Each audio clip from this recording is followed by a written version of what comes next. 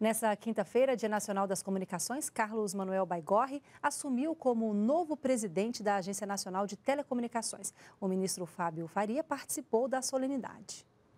Carlos Manuel Baigorre é doutor em economia e servidor de carreira da Anatel desde 2009. Na agência, ele já ocupou os cargos de chefe da assessoria técnica e superintendente de controle de obrigações, de competição e executivo, além de membro do conselho diretor.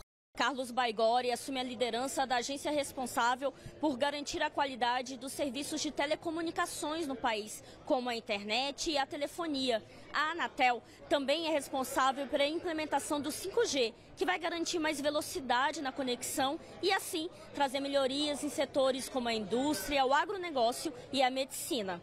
E o meu propósito, e tenho certeza que o propósito de todos os servidores da Anatel, é fazer com que o Estado brasileiro por meio da Anatel, potencialize o impacto transformador das telecomunicações, das comunicações na vida de cada brasileiro. Também levar o 5G para todos os municípios brasileiros que hoje não têm o 5G, mas todos terão até o final do cronograma eh, estabelecido no nosso edital.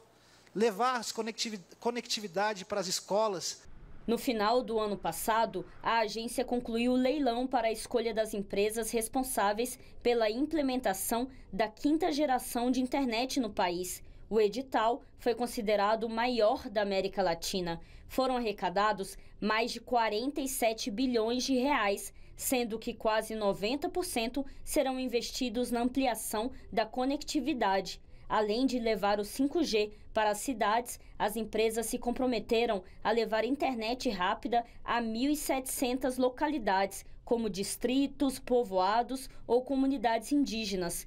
Também precisam implantar fibra ótica na região amazônica e ampliar a cobertura do 4G em rodovias. O Brasil agora está sendo visto como um possível hub de tecnologia para o mundo.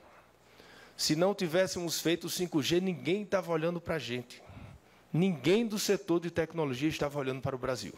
Durante a cerimônia, Arthur Coimbra de Oliveira tomou posse como novo membro conselheiro da Anatel. Ele é mestre em Direito pela Universidade de Brasília e procurador federal desde 2007. No Ministério das Comunicações, foi diretor de banda larga e secretário de Telecomunicações de 2011 a 2022.